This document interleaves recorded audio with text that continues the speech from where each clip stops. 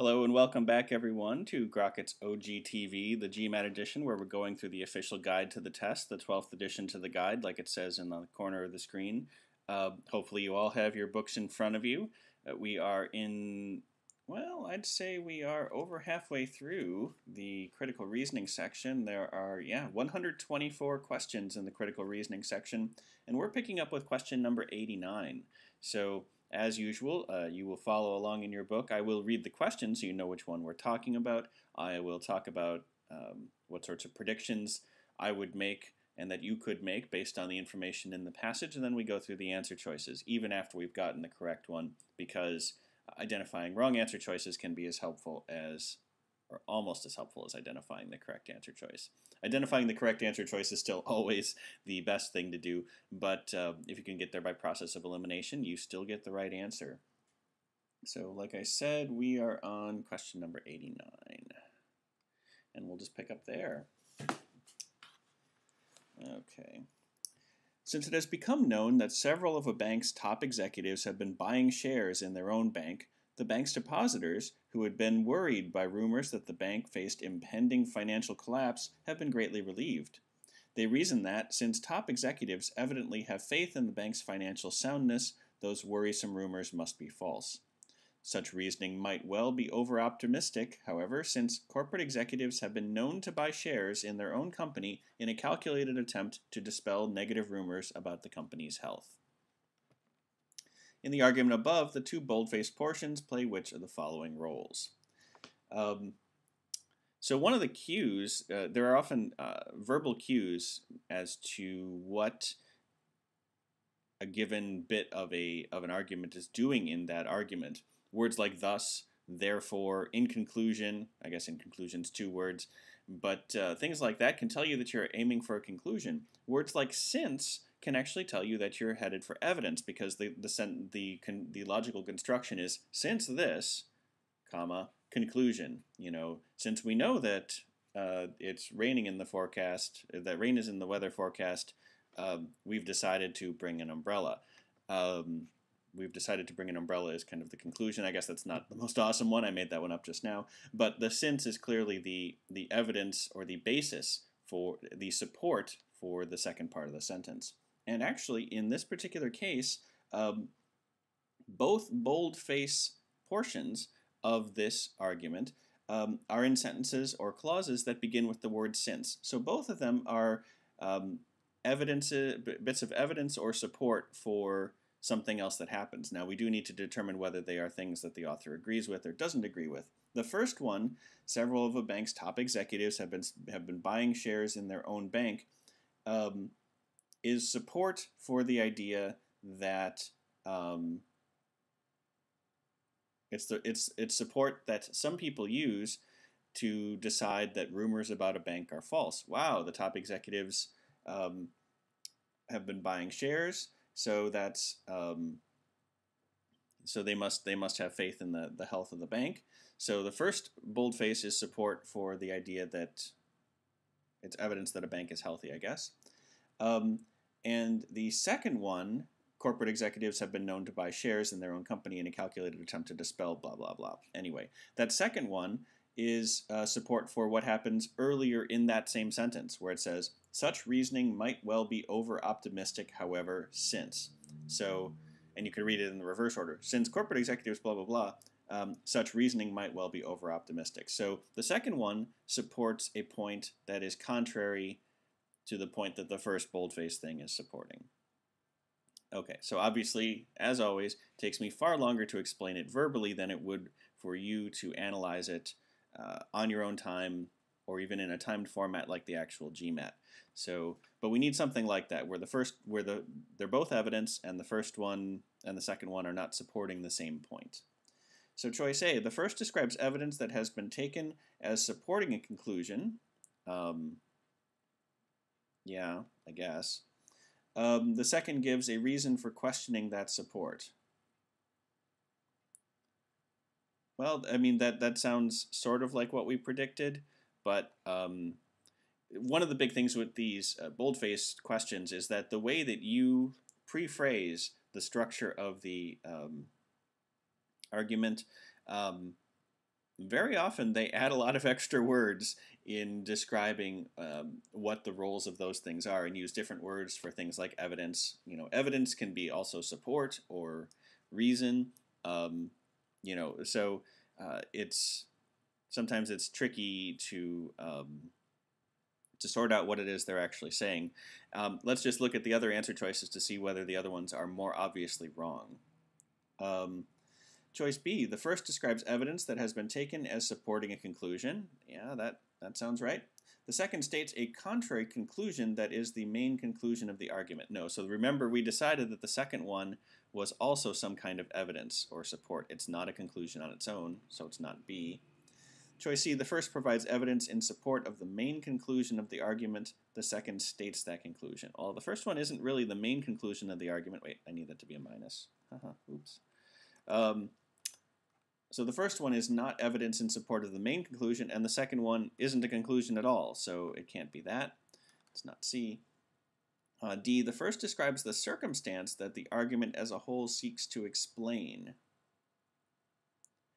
Well, that's that has potential because then we find out that there's two different reason, two different ways that you can interpret that. One that it's a sign that the executives believe their firm is healthy. The other is that they are trying to dispel rumors and, and they know that it's unhealthy. So we could probably accept the first half of D. The second gives the explanation that the argument seeks to establish. Well, it's not actually trying to establish it, simply give uh, an alternate an, an alternative thing. It's not saying that every time they do this, um, this is what's happening. It's saying that, that it might be that. Um, it says such reasoning might well be over-optimistic, which is not the same thing as saying that it is over-optimistic. So I have to vote down D because it's not the argument is not trying to convince us of, of one thing, merely show us that there are two sides to the same bit of evidence. Choice E, the first describes the circumstance that the argument as a whole seeks to explain. Yeah, I, am willing to accept that. Uh, the second provides evidence in support of the explanation that the argument seeks to establish. And again, the argument isn't trying to establish one particular explanation, simply provide an alternative one. So it's not E either. Um, but at least the second one was evidence in choice E, whereas in choice D it was actually the explanation. Um, I guess they're, they're kind of similar. Anyway, that takes us back to choice A. The first describes evidence that has been taken in as supporting a conclusion, namely that, uh, that the, the firm is healthy. Um, and the second gives a reason for questioning that support. That sounds pretty good, so choice A it is. We stay on our page, but we don't stay on our question. A new law gives ownership of patents, documents providing exclusive rights to make and sell an invention, to universities, not the government, when those patents result from government sponsored university research. Administrators at Logos University plan to sell any patents they acquire to corporations in order to fund programs to improve undergraduate teaching. Which of the following, if true, would cast the most doubt on the viability of the college administrator's plan described above? So, of course, we always want to summarize the plan. So the plan is to sell patents for undergraduate money, basically, money for undergraduate programming. So to undermine um, or, or, to cast doubt on the viability, to undermine, to weaken, really. We're just being asked to weaken the plan or give a reason why it's unlikely to succeed. As always, when you're weakening uh, plans or forecasts, um, you basically need to undermine it on its own terms. There needs to be some element of this that needs to not work.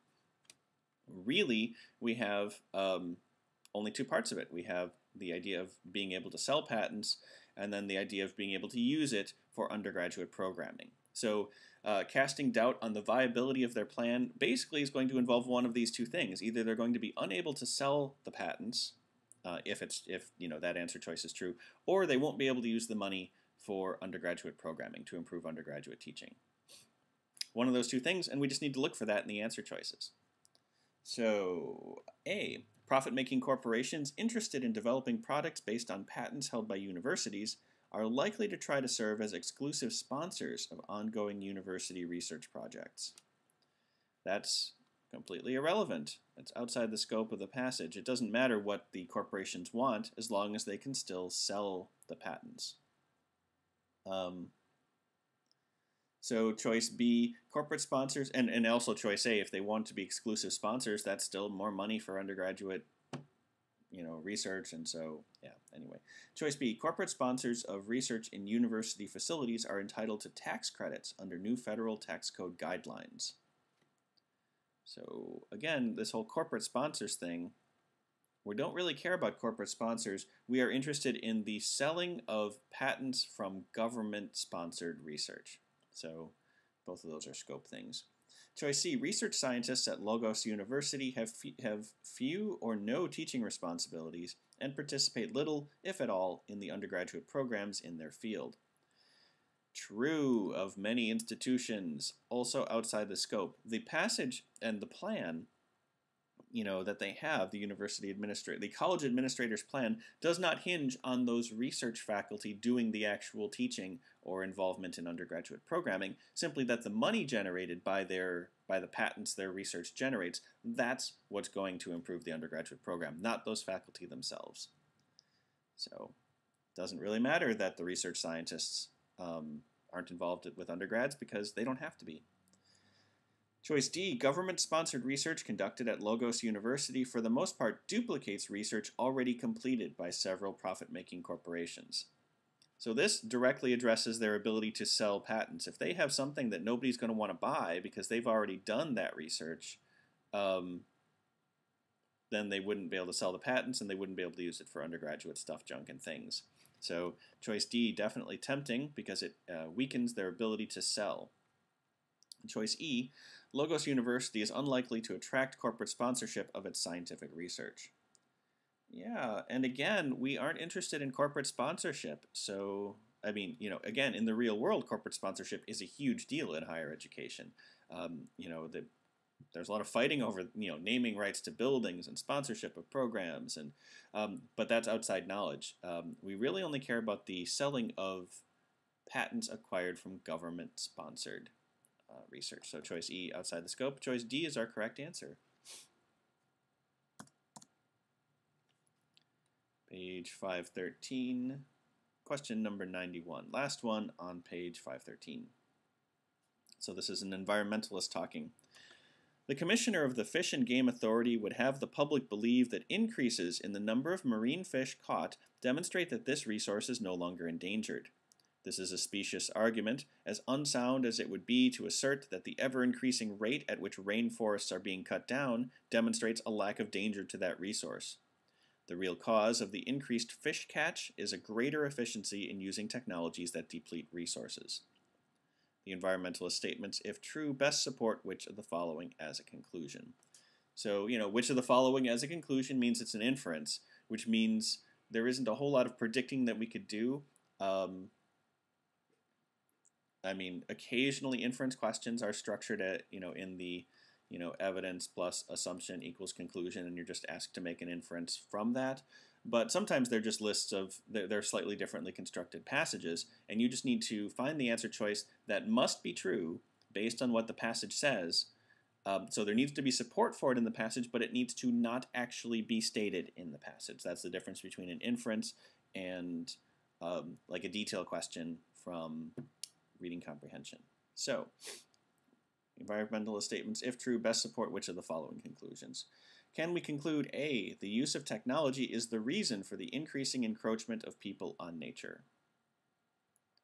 Well, there, there isn't actually anything about the increasing encro encroachment of people on nature in the passage, so no support at all for, for choice A. Uh, choice B, it is possible to determine how many fish are in the sea in some way other than by catching fish.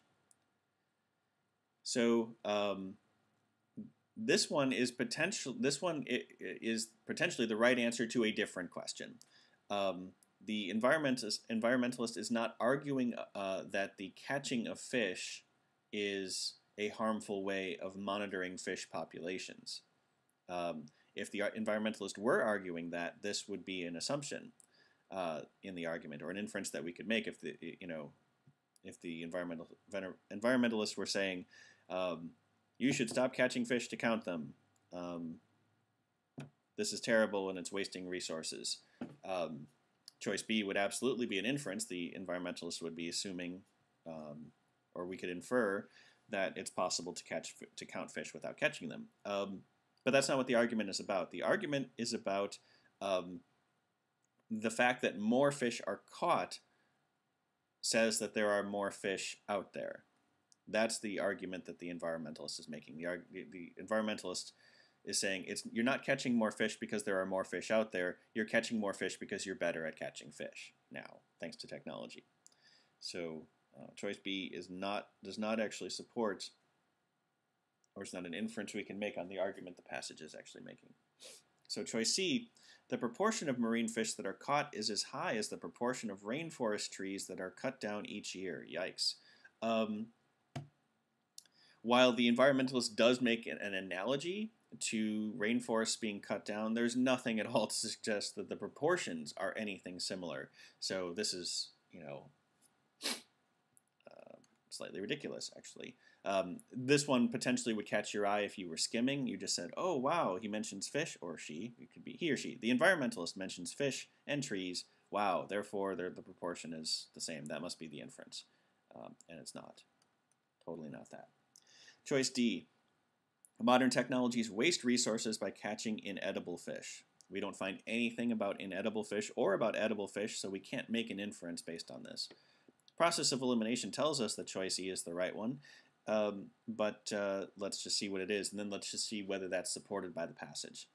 So choice E says, marine fish continue to be an endangered resource. And this is one of those ones, very often inference questions, the correct answer will be such a small logical leap that it almost sounds too easy or too simple.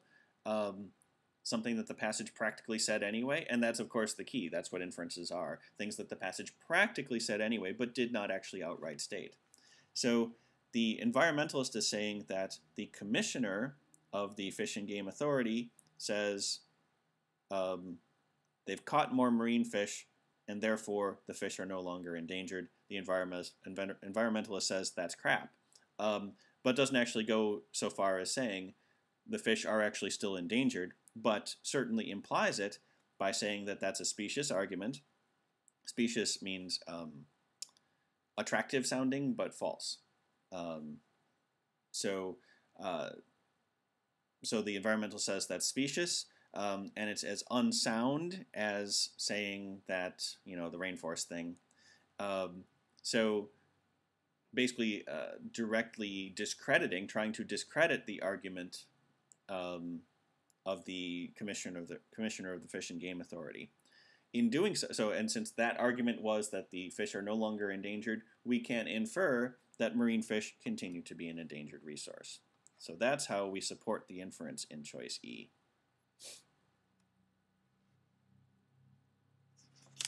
and that's how we turn the page. You probably couldn't hear it, but I turned the page. You should too. We are now on page 514.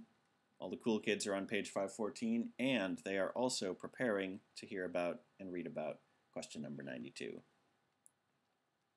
In the country of Veltria, the past two years' broad economic recession has included a business downturn in the clothing trade, where sales are down by about 7% as compared to two years ago. Clothing wholesaler, wholesalers have found, however, that the proportion of credit extended to retailers that was paid off on time fell sharply in the first year of the recession, but returned to its pre recession level in the second year. Which of the following, if true, most helps to explain the change between the first and the second year of the recession in the proportion of credit not paid off on time? So this is one of those ones. This is this is a question with a GMAT gift where the argument that you need to deal with is restated as part of the question. We need to very specifically see why sales were down over two years. So over a two-year period, sales are down both years, 7% uh, over two years ago. But uh, credit-wise, um, they go from um, many not on time to more on time. despite sales continuing to be down. So sales are down through this whole time period. Um, we need to explain why, even though sales continue to be down, more businesses have been making their credit payments on time. That's it. We have to explain it. So we need to find we need to find need to find an explanation for that, um, and it's proportion, not number. So Choice A, the total amount of credit extended to retailers by clothing wholesalers increased between the first year of the recession and the second year. So it increased between the first year and the second year. The total amount, if they increase the total amount of credit, increasing the amount of credit available should not necessarily have an impact on the proportion that's being paid back on time if that makes sense. So just having more credit available doesn't mean that more or less is paid off or not paid off. It could be the same percentage, it could change. Um, so choice A doesn't really give us anything to go on in terms of an explanation for why sales would be down, but all of a sudden uh, businesses go to paying more on time. Choice B um, between the first and second years of the recession, clothing retailers in Veltria saw many of their costs, rent and utilities in particular, increase. So this one looks tempting at first because we have costs changing. Um, and if costs went down over the two year period, that could explain why more businesses were able to pay back their credit on time. However, it actually says that costs increase. This is the reverse of what we need it to do. If anything, the relationship should have been re reversed. Should have been reversed. Um, if costs increased, we should have gone from more businesses paying their credit back on time to more businesses not paying their credit back on time because they're having financial difficulties. So choice B just makes it even more mysterious why more businesses are paying things back on time. So C, of the considerable number of clothing retailers in Veltria who were having financial difficulties before the start of the recession, virtually all were forced to go out of business during its first year. Okay, so basically what this one says is uh, between point number one and point number two on our timeline, this is a timeline now, um, all the businesses that were having trouble went out of business. So in between here, we have a bunch of bankruptcies and closings.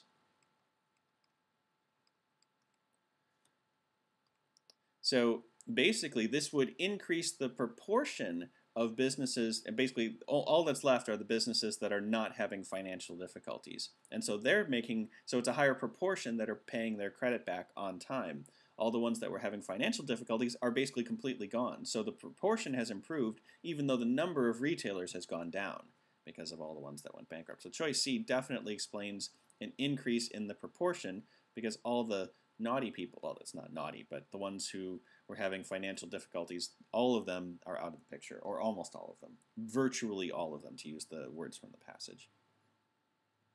But let's look at the other answer choices. Choice D, clothing retailers in Veltria attempted to stimulate sales in the second year of the recession by discounting merchandise. Um, what they attempted to do is kind of irrelevant. If it had actually said that they stimulated sales by discounting merchandise and made uh, record profits, that would explain it perhaps, because then there's more money coming in. But all it says is what they tried, and with no measure of success in it, choice D doesn't explain anything. Finally, choice E, relatively recession-proof segments of the clothing trade, such as work clothes, did not suffer any decrease in sales during the first year of the recession. Well, number one, it doesn't address the chronolo chronological shift between the first and the second year of the recession, so that makes choice E useless already.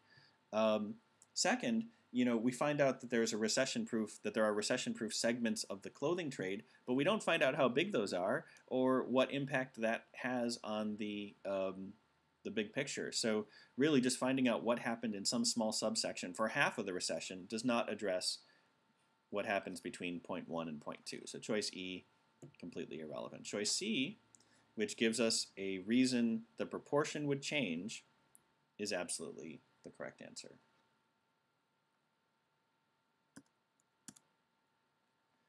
So page 514, question number 93. Commentator says the theory of trade retaliation states that countries closed out of any other of of oh sorry countries closed out of any of another country's markets should close some of their own markets to the other country in order to pressure the other country to reopen its markets. If every country acted according to this theory, no country would trade with any other. The commentator's argument relies on which of the following assumptions? So the conclusion um, is that, um, so we have evidence plus assumption equals conclusion. Our conclusion is that if all did this, there'd be no trade. The evidence is the theory uh, of trade retaliation.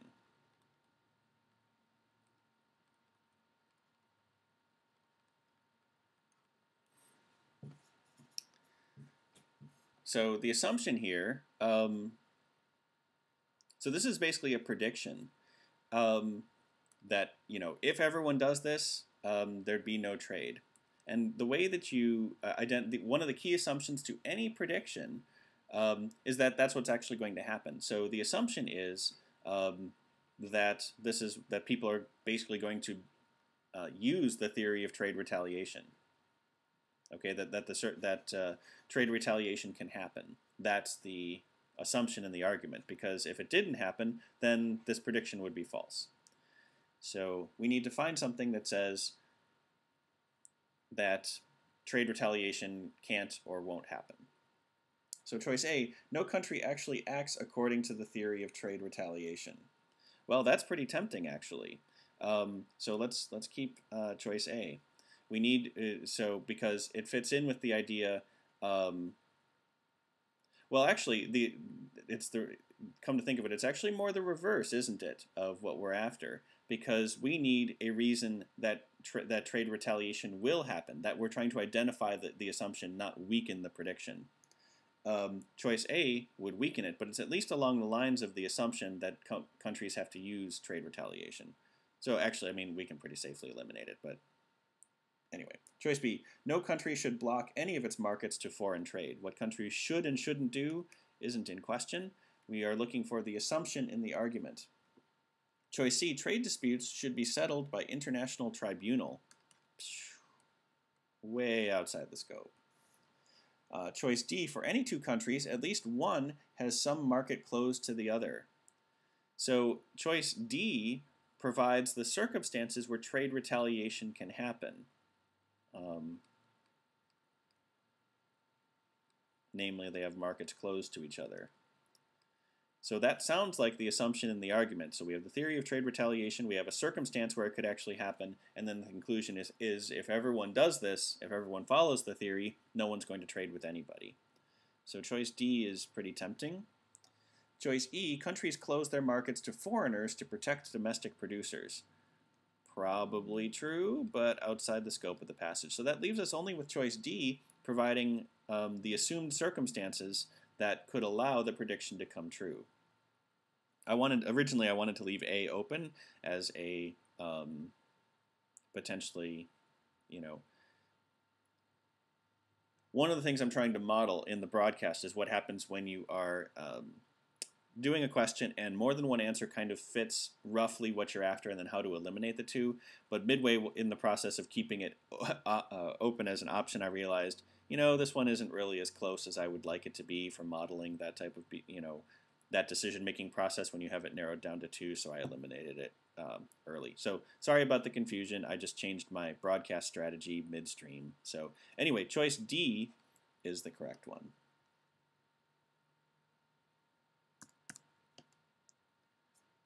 So same number, different number. All right. Studies in restaurants show that the tips left by customers who pay their bill in cash tend to be larger when the bill is presented on a tray that bears a credit card logo. Consumer psychologists hypothesize that simply seeing a credit card logo makes many credit card holders willing to spend more because it reminds them that their spending power exceeds the cash they have immediately available. Which of the following, if true, most strongly supports the psychologist's interpretation of the studies? their interpretation. Um, so their interpretation, just to summarize, is that a credit card logo reminds credit card holders of credit. And that makes them more willing to spend cash because it's like, hey, I have, I have all this extra money I can spend. Um, so we need something to, to support the notion that the logo, credit card logo reminds credit card holders of the credit they have available. So choice A, the effect noted in the studies is not limited to patrons who have credit cards. So choice A actually weakens their interpretation because we, we need it to uh, remind credit card holders. If it actually also works of non-credit card holders, their hypothesis that it's reminding credit card holders about their credit probably can't be right. I mean, because then it, it's reminding non-credit card holders of credit they don't have. Anyway, choice A, totally not it. Uh, choice B, patrons who are under financial pressure from their credit card obligations tend to tip less when presented with a restaurant bill on a tray with a credit card logo than when the tray has no logo. Okay, so with this one, that's a, a long answer choice. Um, so it's saying that people who have credit card trouble see this logo and tip less, which is actually another form of credit card logo reminds credit card holders of credit in this particular case, though, it's reminding credit card holders of their credit troubles, and they say, oh, I better not spend as much. So um, the hypothesis that it reminds credit card holders about their available credit um, is actually supported by this, although in the reverse direction. So we'll leave it as kind of a winky smile because we're not sure, because it's kind of the reverse direction rather, rather than supporting this direct point. Uh, choice C, in virtually all of the cases in the studies, the patrons who paid bills in cash did not possess credit cards. That totally weakens it. The hypothesis is entirely about credit card holders. So nobody cares about non-credit card holders for the purposes of this passage. Choice D, in general, restaurant patrons who pay their bills in cash leave larger tips than those who pay by credit card. This is another one that weakens it because this just says, in general, if you pay in cash, you leave a bigger tip. Um, whereas their hypothesis is that they leave left a bigger tip because they were reminded of credit. Whereas if it's just generally true of people who pay with cash regardless of whether they have credit cards, that's not their hypothesis. And then choice E, the percentage of restaurant bills paid with a given brand of credit card increases when that credit card's logo is displayed on the tray with which the bill is presented. So this is potentially true, and this would strengthen a different type of argument, namely that uh, the credit card logo on the tray influences the consumer in some way, or that it influences their, their method of payment, um, but it doesn't influence, it doesn't um, strengthen the idea that it reminds credit card holders of their credit and causes and affects their tipping. So choice E, potentially the right answer to a different question, leaving us only with choice B, where even though it's the reverse direction, um, it still says that the credit card logo reminds credit card holders of credit and affects tipping. So the researchers or the psychologists, consumer psychologists argument is supported. Choice B. Let's see, 95.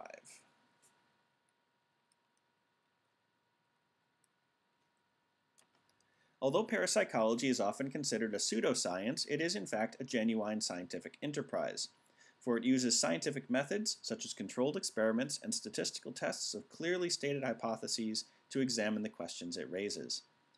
The conclusion above is properly drawn if which of the following is assumed. Evidence plus assumption equals conclusion.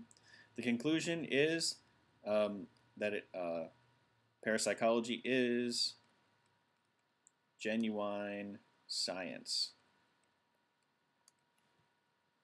Um, and the evidence is that it uses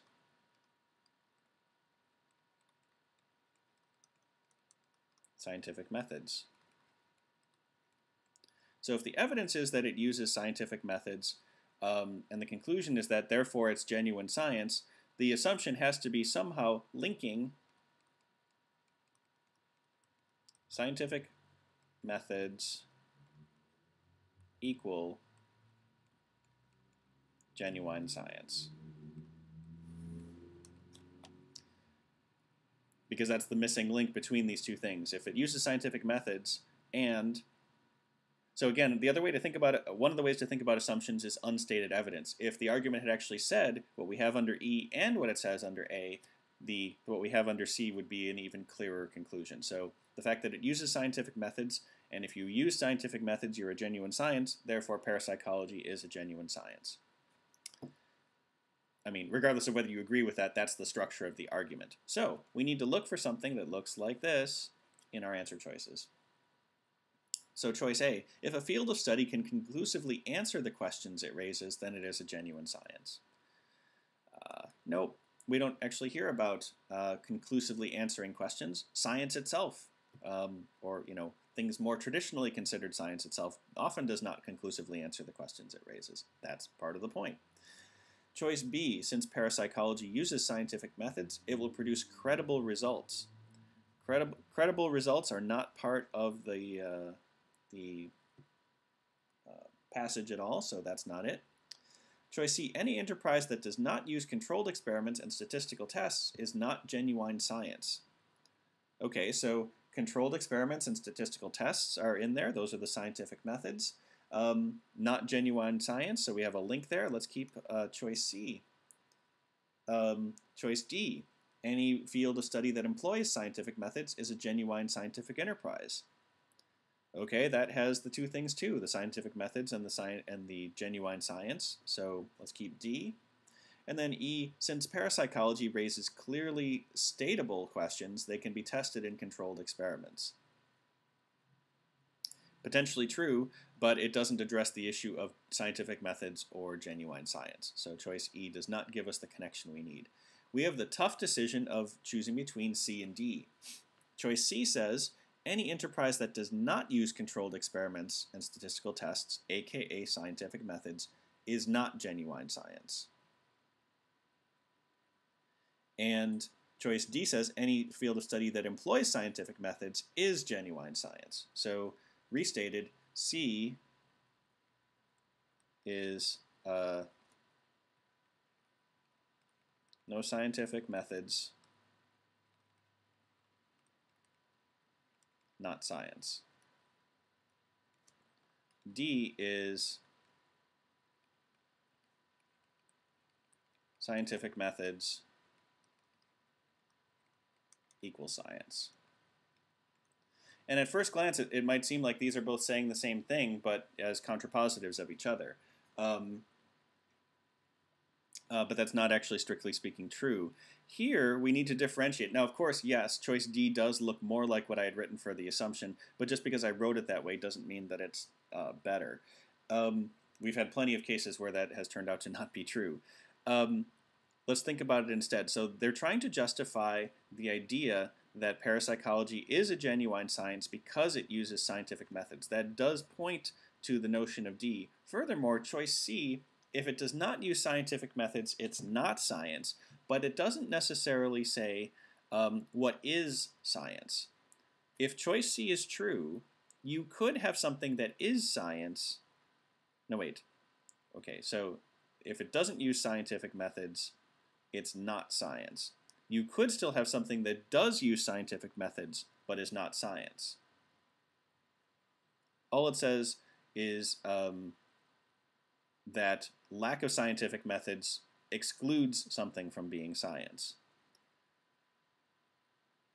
But it doesn't say that scientific methods make something science, whereas choice D says it does, and that is actually the justification, that's the assumption in the argument. So in this particular case, the way that I wrote it out in, in the equation here did matter, but uh, choice C does not automatically make parapsychology a science just because it uses scientific methods all it all it says is that it's not in the category of things that are definitely not science, which is not the same thing as saying that it is.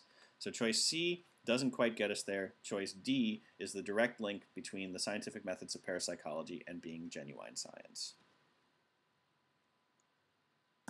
It's a tricky one. Uh, 515, page 515, question number 96. Hotco oil, Hotco oil burners designed to be used in asphalt plants are so efficient that Hotco will sell one to the Clifton asphalt plant for no payment other than the cost savings between the total amount the asphalt plant actually paid for oil using its former burner during the last two years and the total amount it will pay for oil using the Hotco burner during the next two years. On installation, the plant will make an estimated payment which will be adjusted after two years to equal the actual cost savings. Um, which of the following, if it occurred, would constitute a disadvantage for Hotco of the plan described above? Again, let's summarize that plan. Um, their payment um, equals um, the total oil cost savings. So however much less um, the Clifton asphalt um, plant, however much less it spends on oil in um, in the next two years um, over what it spent the first two years, that's what it's going to pay the Hotco um, company. So we need to we need to come up with a disadvantage. Uh, probably a way that would reduce the total oil cost savings because this if their payment is the total oil cost savings over the next two years over the previous two years, the more that oil costs, the less they get paid. That would be a disadvantage. So we need something in the answer choices that makes oil costs go up. So choice A, another manufacturer's introduction to the market of a similarly efficient burner. Well, it's already installed in the Clifton asphalt plant, so it doesn't actually matter if a new one comes out. Um, they've already installed it, so and they've already got the money up front. Choice B, the Clifton asphalt plant need for the Clifton asphalt plant's need for more than one new burner. If anything, that helps Hotco because for every one that they put in, they get this payment, you know, times number of burners. So they just make more money. Choice C, very poor efficiency in the Clifton asphalt plant's old burner. So if the old one was really inefficient, that simply creates a higher payment for Hotco. The more inefficient it was, the more that they'll save over the next two years using a Hotco oil burner, and the bigger the difference between the two total oil costs would be, and Hotco makes more money. So choice C actually would be an advantage. Actually, choice B is an advantage also because they make more money that way. Uh, choice D, a decrease in the demand for asphalt. At first this sounds bad uh, because it means that they're not producing as much asphalt, but this still reduces the total oil cost for the Clifton asphalt plant in the next two years. Let's say they produce no asphalt at all. Then uh, the Clifton asphalt plant owes Hotco the entire cost of what they spent on oil for their first two years. So they owe the difference between these two years, here's where they install the thing, and these two years. So let's say this is, you know, $100. We'll use small numbers. And this is zero. They owe the Hotco, um, these are our oil costs. If they go from $100 to spending zero money at all on oil, they owe Hotco $100. So basically, the lower this number is, the more they owe Hotco. And that includes if asphalt demand goes down, they still owe Hotco more money because the difference between these two is bigger. So choice uh, D is also an advantage. Process of elimination gives us E, but we're expecting this to cause the cost of oil to go up in some way. Choice E says a steady increase in the price of oil beginning soon after the new burner is installed. Well, they didn't even give us a reason that oil cost goes up. They just say, hey, oil cost goes up. So the higher this number ends up being, you know, if this ends up being $1,000 in the next two years, Hotco isn't going to collect any money at all from uh, the Clifton asphalt plant. So that would be bad. Anyway, choice E is the correct answer. Um, 515, number 97. Delta Products Incorporated has recently switched at least partly from older technologies using fossil fuels to new technologies powered by electricity. This question has been, or the question has been raised whether it can be concluded that for a given level of output, Delta's operation now causes less fossil fuel to be consumed than it did formerly. The answer clearly is yes, since the amount of fossil fuel used to generate the electricity needed to power the new technologies is less than the amount needed to power the older technologies, provided level of output is held constant. In the argument above, the two bold-faced portions play which of the following roles. So, um, the first one, there's no uh, clue words, but it's just a statement that they switched. So the first one basically needs to be um, some kind of evidence or fact. You know, it's not a conclusion. Um, it's just a fact stated. The second one um, it the the part that's not in bold kind of tells us what the second thing is. Um, it says the question has been raised whether it can be concluded that for a given level of output, blah blah blah. So can the thing in bold be can, can it be concluded? And then right after the bold part it says yes it can be concluded. So basically the second bold-faced thing is a conclusion, is the argument's main conclusion. So we need to find that in the answer choices. So choice A, the first identifies the content of the conclusion of the argument. No, it doesn't. It's just some sort of evidence. Um, the second provides support for that conclusion. No, it was the conclusion. A is backwards. Uh, choice B, the, uh, the first provides support for the conclusion of the argument. Well, you know, it's a fact that's involved in making the conclusion, so I guess. Um, the second identifies the content of that conclusion. It definitely does that, but let's keep going. Uh, C, the first states the conclusion of the argument. Nope. Uh, the second calls that conclusion into question. Nope, it doesn't. Um, choice D, the first provides support for the conclusion of the argument. Sure, okay. Uh, the second calls that conclusion into question.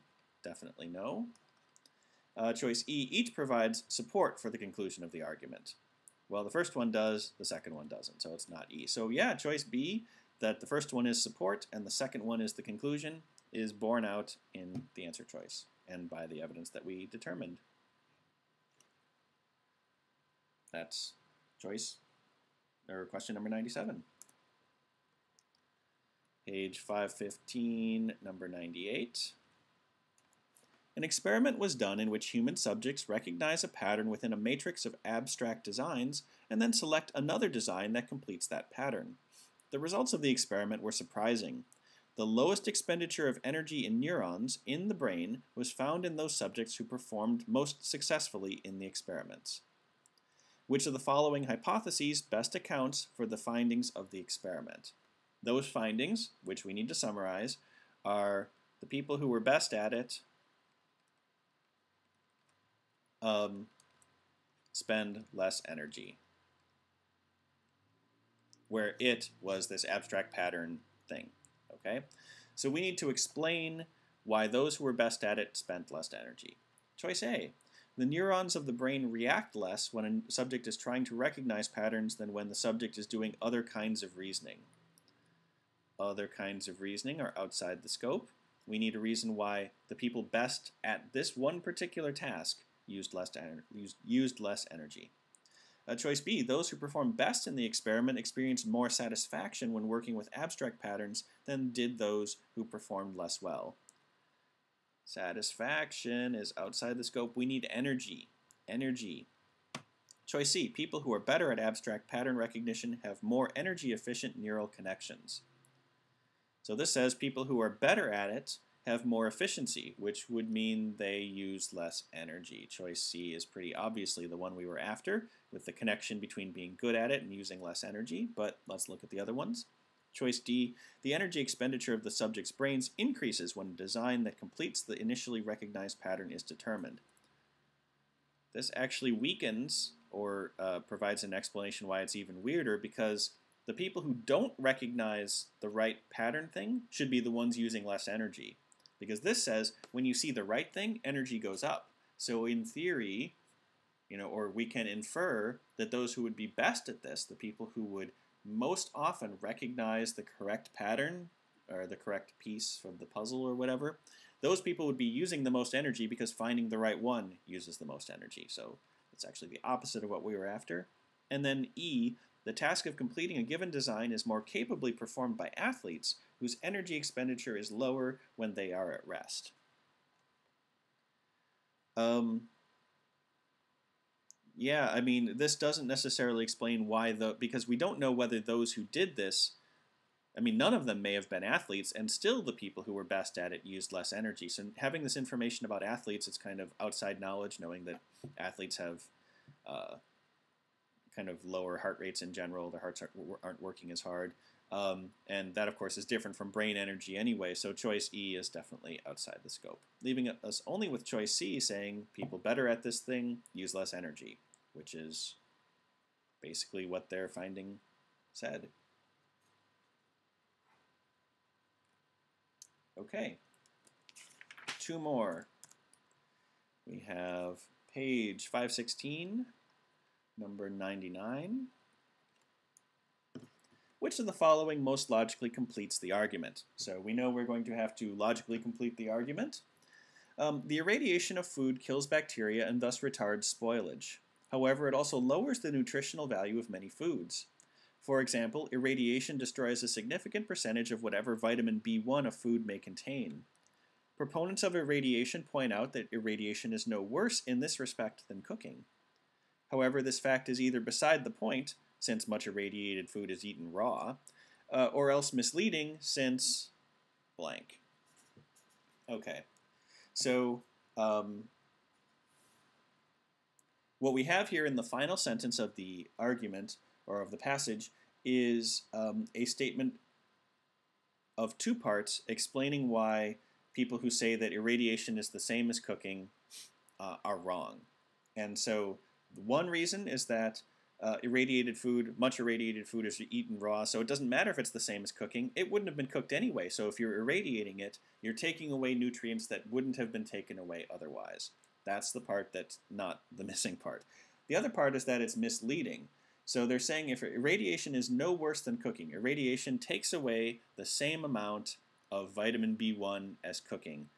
Why would that be misleading? Um, that you're no worse off irradiating than cooking.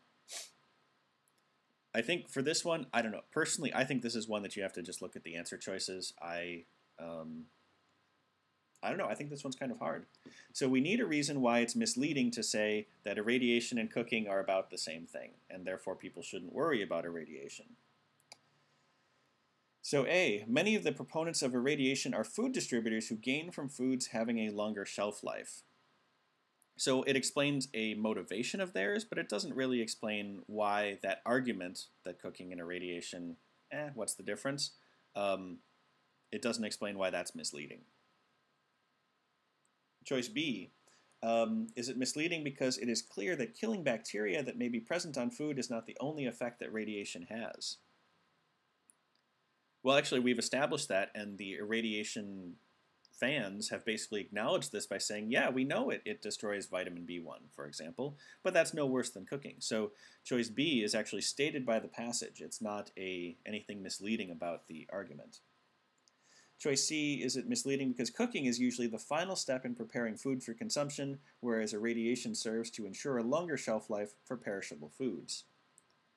That's probably true, but it's basically irrelevant and probably we everybody knew that. It's certainly not misleading because we're not talking about what stage the food is at or something like that. Uh, choice D, is it misleading because certain kinds of cooking are in fact even more destructive of vitamin B1 than carefully controlled irradiation is? Well, no, and and if anything, this would support the um, irradiator side of the argument, whereas we are arguing from the perspective of someone who thinks radiation treatment is bad for food. So um, that's not anything misleading about what the other people are saying. That leaves us only with choice E, which must be the correct one. But why? Is it misleading uh, since for food that is both irradiated and cooked, the reduction of vitamin B1 associated with either process individually is compounded?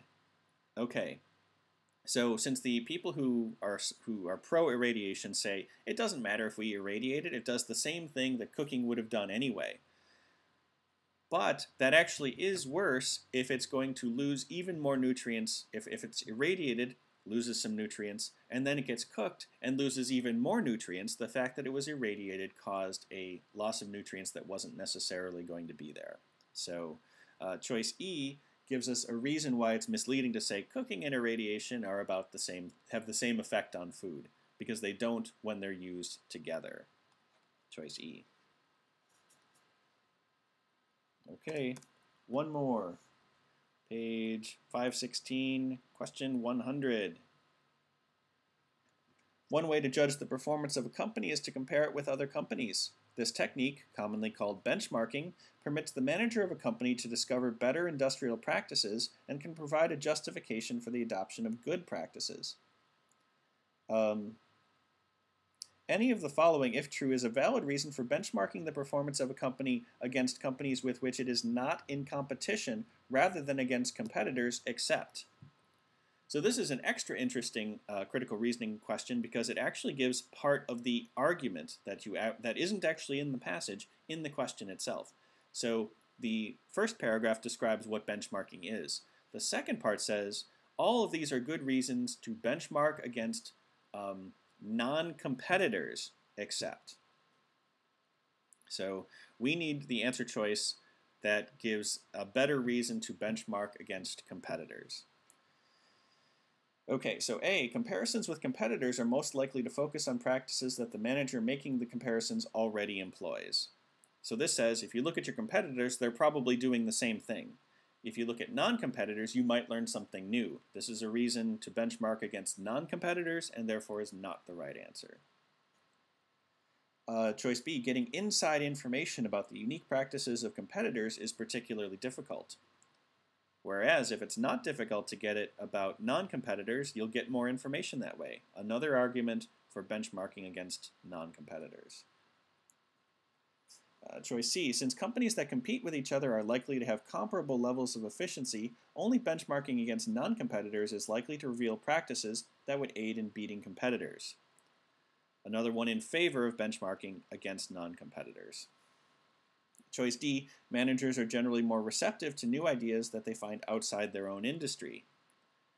Another one in favor of non-competitors. Choice E gives us process of elimination tells us this is the right one. This one should be an argument for benchmarking against competitors rather than non-competitors.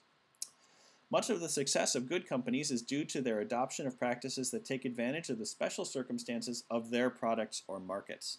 So this one is saying, you know, you get the most out of things that are particular to your industry, which implies competitors we can infer that that would apply most specifically to your competitors in the industry. Therefore, choice E is the correct one. It's the only one that does not identify an advantage to benchmarking against non-competitors. Okay, we will stop there for the day.